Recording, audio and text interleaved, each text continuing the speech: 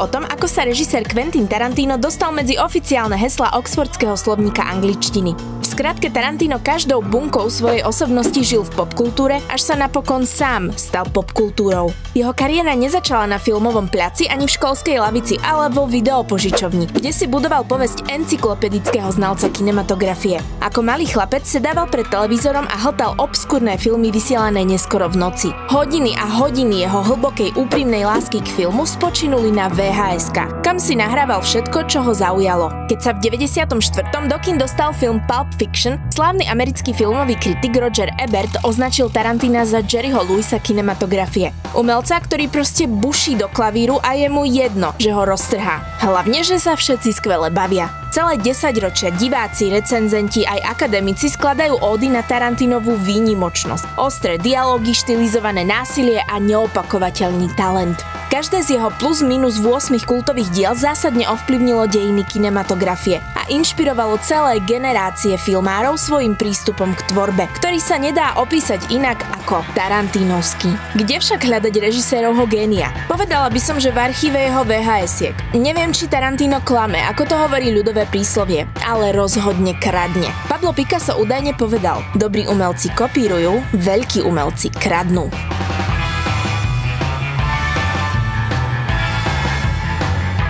Tarantino potvrdzuje, že režisér a umelec všeobecne je definovaný tým, čo mu osobne fandí. Filmy, ktoré tvorí, priam kričia jeho eklektickým vkusom. Čerpá inšpiráciu zo všetkého, od bečkových filmov cez špagety westerny a filmové klasiky až po samurajské snímky či rôzne exploatačné kúsky. Vizuálne odkazy na iné diela sa stali jeho poznávacím znamením. No zatiaľ, čo niektoré referencie sú iba naznačené, iné vyzerajú ako identické repliky originálov. V roku 1997 filmová kritika obvinila Tarantina z plagiátorstva pri jeho filmovom debute Gaunery.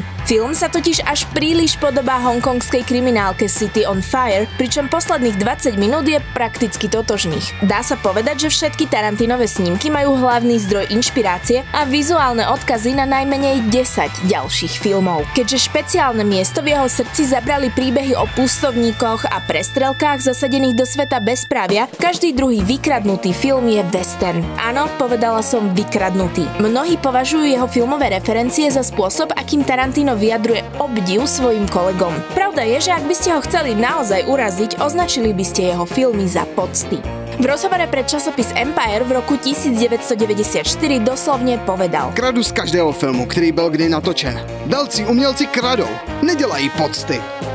Pravdepodobne sa teraz pýtate, či je táto žijúca legenda skutočne zlodej. Horšie. Tarantino je postmoderný umelec. Postmodernizmus vo filme vytyčuje éru, kedy tvorcovia začali spochybňovať zažitú prax natáčania mainstreamových snímkov a vznikali tak diela, ktoré išli proti všetkým pravidlám. Kľúčovým termínom je intertextualita. Pekné, inteligentne znejúce slovo, ktoré z pohľadu kinematografie veľmi zjednodušene hovorí, že filmy sa rodia z filmov. Vo svete umenia nie je nič nové, všetko sa dookola recykluje a redefinuje.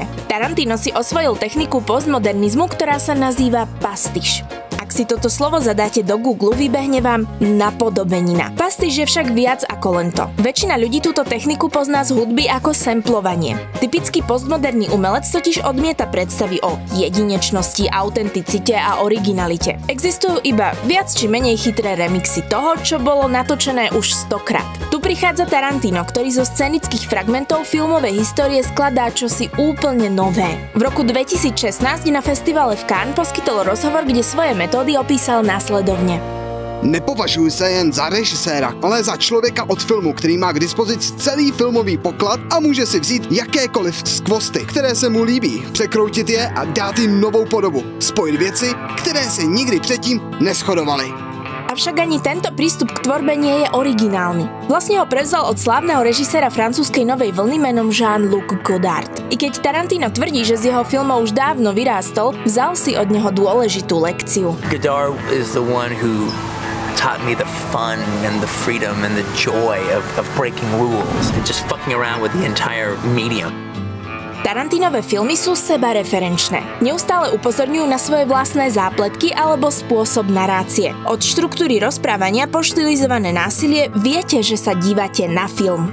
Tarantino je úplne v pohode s tým, keď divák občas prepadne cez štvrtú stenu. Jeho filmy málo dbajú na pravdu alebo presné prerozprávanie príbehu. Historická presnosť je totiž menej dôležitá ako snaha zachytiť pocit z toho, čo sa deje. A že sa toho deje dosť. Pri spätnom pohľade na dobové recenzie Tarantinovho debutu Gaunery, v ktorých sa kritici po špičkách snažia opísať scénu, kde pán blondiak Michael Madsen reže policajtovi ucho, sa musí človek trošku škodoradosne pousmiať. Článok vo Variety vtedy varoval, že ide o zbytočne sadistickú sekvenciu, ktorá prekračuje hranice toho, čo chce divák zažiť. Nič ľudí nevyprovokuje tak, ako stará dobrá nekonečná debata o násilí vo filmoch alebo videohrách. Už celé roky dookola opakujem, že týmto médiám prisudzujeme rolu iniciátora násilného konania, aby sme sa zbavili pocitu vlastnej zodpovednosti za zlyhanie v spoločnosti. Môže sa to zretelná paranoja, ktorá spája divácku radosť násilia s reálnou trestnou činnosťou, bez toho, aby sme uvažovali, kde pramení skutočný koreň problému. I'm a big fan of uh, action and violence and cinema. I always said that almost as if it was one of the reasons Thomas Edison invented the camera was to film violence. Tarantino jasne vidí rozdiel medzi filmovým a skutočným násilím. Ba čo viac, ukazuje túto hranicu aj nám. Takzvaný gore používa ako jeden z nástrojov na zdôraznenie umelosti. Násilie zobrazuje zámerne, nerealisticky a hyperbolizovane. Rád o svojich filmoch hovorí ako o muzikáloch, v ktorých sú násilné scény tanečnou choreografiou. To nie je až tak zvláštne, pokiaľ si uvedomíme, akú veľkú rolu u ňoho hrá soundtrack. Hudbu považuje za akúsi ozvenu príbehu alebo kontrapunkt. Samotné násilie využíva ako formu kontroly nad zážitkom a považuje sa za dirigenta orchestra diváckých emócií. I want to play you as an audience. I, I want to be the conductor and you're my orchestra and you're, you're, the sounds you make are my instruments and your feelings are my instruments. So it's like laugh, laugh, laugh. Stop laughing. Stop laughing. Okay, now be horrified. Be horrified. This is horrible. This is horrible. This is horrible, horrible, horrible. Laugh. Pri snahe vysvetliť okázale estetizované a hlavne bezúčelné násilie, mnohí hľadajú akýsi vyšší umelecký cieľ. Tarantino sa vysmieva snahám prisúdiť jeho filmovému násiliu sofistikovaný význam. Is that because you never want people to forget the capacity, if you like, for humans to harm one another. No, I think you are getting too heavy with it. Ide mu čisto o zábavnú hodnotu. Jeho krvavé kúpele sú zapamätateľné, pretože sú kreatívne. Zostanú vám v hlave vďaka svojej vynaliezavosti a špecifickosti. Tarantino má celkom opačnú filozofiu ako väčšina akčných filmov, ktoré sa držia za hranicou krvi prelievania. If a guy shot in the, in the stomach and he's bleeding like a stuck pig, I want to see him bleeding like a stuck pig. Bam, right in the face. I'm just standing there drenched in panic. Okrem toho, že obvykle maľuje plátno kompletne na červeno, jeho filmy sú prekvapivo ukecané. Absolútne porušuje zlaté filmové pravidlo show don't tell alebo v preklade ukáž, nerozprávaj. Tento princíp znamená, že ako režisér nebijete diváka po hlave dialogmi a vyčerpávajúcou slovnou expozíciou, keď mu všetko môžete ukázať prostredníctvom konania postav. Lenže Tarantinové dlhé dialógy na rôzne triviálne témy sú na prvý pohľad bez zjavnej súvislosti s čímkoľvek. Zámerne ignoruje scenaristické konvencie, podľa ktorých by mal byť dialog zahrnutý len vtedy, ak stručne rozvíja dej alebo osvetľuje charakter postavy. Ako je teda možné, že Tarantinovi funguje to, čo by iné filmy úplne potopilo? Tento muž má naozaj talent od Boha. Dokáže vás vtiahnuť do deja iba pár slovami na úvod každej scény, ktorá je zároveň prísľubom, že sa stane niečo veľké. Forget it, it's too risky. Aj keď sa vám to nemusí zdať, v dialogoch je podtext, ktorý ich robí zaujímavými. There was a blonde one, Somerset O'Neill. She was a leader. The Japanese fox was a kung fu master. The black girl was a demolition expert. French fox's speciality was sex. What was your specialty? Knives. Navyše Tarantino takto buduje napätie. Napríklad v krčmovej scéne z filmu Nehanebný bastardi, kde si poručík Archie Hickox, britský špión, vydávajúci sa za nemeckého dôstojníka, objedná tri poháre whisky. Zdvihne ukazovák, prostredník a prsteník. Major Hellstorm si všimne, že nejde o klasické nemecké gesto pri počítaní, čo je pre postavy koniec hry. Ale Tarantino necháva scénu doznieť, aj keď už diváci vedia, že Hellstorm Hickok sa odhalil, pretože tak geniálne stupňuje tiesnivú atmosféru. Jeho tajomstvo je v tom, že svoje scenáre píše ako romány, nie ako podklady pre film. Tarantinové snímky ovládajú postavy a každý spisovateľ vie, že pútavé dielo musí stať práve na nich. Navrh je každý román závislý na dialogoch. Než sa Tarantino stal režisérom, navštevoval hodiny herectva, kde musel vytvárať improvizované scény. Vďaka tomu si založil vlastnú metódu písania. Proste pozýva postavy do miestnosti a necháva ich hovoriť, čo chcú. Z toho pramení realistickosť dialogov, ktoré pôsobia ľudsky obyčajne a preto hneď nadvezujeme s postavami emocionálny kontakt. Poznávame ich osobnosť. What you're trying to do is create an environment as you're writing that Quentin isn't doing it. They're doing it. Quentin starts it off. Quentin knows the direction it's supposed to go, but then the characters take it over. Napokon je celé jadro filmu o štruktúre, čo súvisí s písaním scenára ako románu. V románe môžete začať tvoriť príbeh od stredu udalosti, alebo to zobrať retrospektívne. Ani v Tarantinových filmoch sa nedejú veci chronologicky alebo priamočiaro. Zvraty pôsobia takmer ako zásah osudu. Sú ťažko predvídateľné a umocňujú pocit, že sa môže stať naozaj čokoľvek. God came down from heaven and stopped these motherfucking bullets.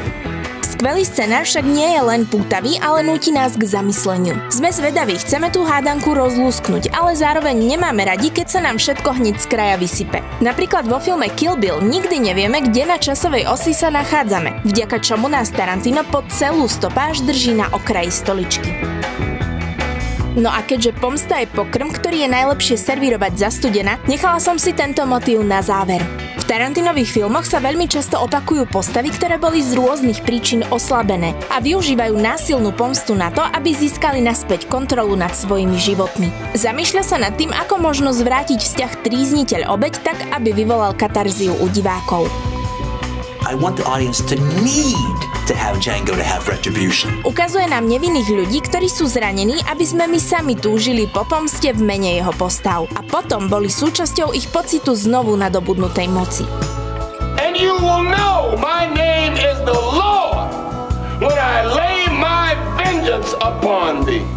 Teraz už vieme, ako Tarantino dostal priestor v Oxfordskom slovníku angličtiny. Hrdo sa hlási k svojmu postmodernému pastišu, pretože akokoľvek to môže znieť paradoxne, navzdory prebratým referenciám majú jeho filmy v sebe punc unikátnej originality. Sú skoro ako kapitoly z učebnice filmovej školy, ktoré nás zasvedcujú do jadra každého použitého filmu. Tarantino tak vdychuje nový život snímkom, ktoré buď stratili svojich divákov, alebo nikdy žiadnych nemali. Nie sú to len dialógy alebo násilie, ale ale jeho svojrázna osobnosť, ktorá je patrná v každej scéne. Pohybuje sa na tenkej hranici medzi okázalou komédiou a násilným excesom, no nikdy sa neodchýli od svojho jedinečného filmárskeho štýlu. Povedala by som, že za slovom Tarantinovský sa skrýva pravdivá rídza oduševnená láska ku kinematografii. Čo si myslíte vy? Dajte nám vedieť dolu do komentárov a nezabudnite na like alebo odber. A samozrejme uvítame ďalšie tipy na režisérov, ktorých by sme mohli spracovať na budúce. Čau!